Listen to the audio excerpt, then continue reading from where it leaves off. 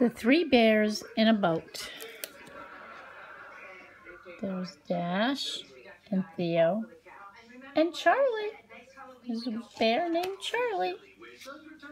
Three bears in a boat. Once there were three bears. Dash, Charlie, and Theo, who lived by the sea.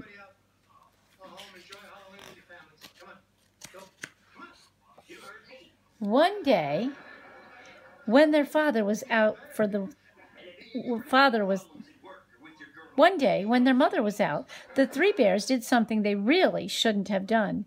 And with a crash, their mother's beautiful seashell, blue seashell, lay scattered in pieces across the floor.